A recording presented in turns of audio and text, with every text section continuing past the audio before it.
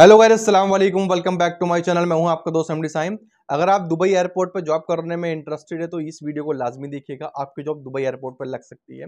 कैसे लगती है कौन सी कंपनी है, ये मैं आपको आगे बताऊँगा। मैंने आपको काफ़ी बार बताया है, जो दुबई एयरपोर्ट होता है जितने भी बड़े बड़े एयरपोर्ट होते हैं, वो दो या तीन तरीके से स्टाफ रिक्वायर्ड करती है। एक तो उनकी बेस्ड एयरलाइन होती है। अब क्योंकि दुबई एयरपोर्ट बड़ा बहुत है इमारट्स एयरलाइन भी दुबई एयरपोर्ट पर लगती है फ्लाई दुबई भी दुबई एयरपोर्ट पर लगती है। तो मैं बात करने वाला हूँ आजकल एयरलाइन के थ्रू से, जो आपकी दुबई एयरपोर्ट पर लगेगी, फ्लाई दुबई एयरलाइन। वैकेंसीज काफ़ी लेटेस्ट अपॉर्चुनिटीज़ है, कैसे अप्लाई करना है, ये मैं आपको स्टेप बाय स्टेप बताने वाला हूँ। आपसे रिक्वेस्ट है भी चैनल को सब्सक्राइब कर दें। अप्लाई करने के लिए आपको एक लिंक मिलेगा नीचे डिस्क्रिप्शन बॉक्स में, पहले नंबर पर आपको उस पर क्लिक करना है। एक परसेंट अगर वो वर्क न करे कभी कभी सर्वर डाउन होता है तो आप सर्च कर सकते हैं, W W W dot free jobs in Dubai dot com.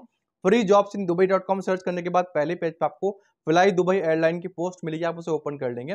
Open करने के बाद हम लैपटॉप की स्क्रीन पे चलते हैं बड़ी और अप्लाई करके देखते हैं। करके हम आ चुके हैं। फ्लाई दुबई एयरलाइन यानी दुबई एयरपोर्ट के कैरेट पेज पे।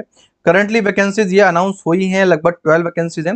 अप्लाई करने के लिए लिंक अवेलेबल इस पर आपको क्लिक करना है तो आपके सामने ये सारी वैकेंसीज आ जाएँगी। जिस वैकेंसी के लिए अप्लाई करना है उसे न्यू टैब में ओपन कर लेंगे या उसी पर क्लिक कर देंगे। क्लिक करने के बाद डिटेल्स आपके सामने आएँगे आपको लॉग इन टू अप्लाई करना है। लॉग इन टू अप्लाई का ऑप्शन को क्लिक करने के बाद आपके सामने जो है अलग एक, इंटरफेस आएगा। आपको इसे एक्सेप्ट करना है।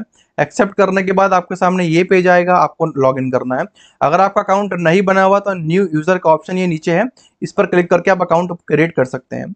लॉग इन करने के बाद आपके सामने कुछ इस तरह का इंटरफेस आएगा, जहाँ पर आपको ये ऑलमोस्ट टेन स्टेप्स हैं ये आपको फिल करने हैं। लास्ट के दो तीन जो है, ये तो बहुत सिंपल है।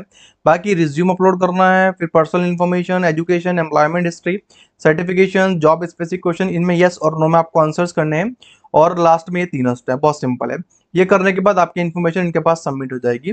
बाकी वेबसाइट पे आपको नीचे कैटेगरीज दिखाई देंगी। इन कैटेगरीज को आप डेली बेसिस पे विज़िट करिएगा, डेली बेसिस की जॉब्स के लिए।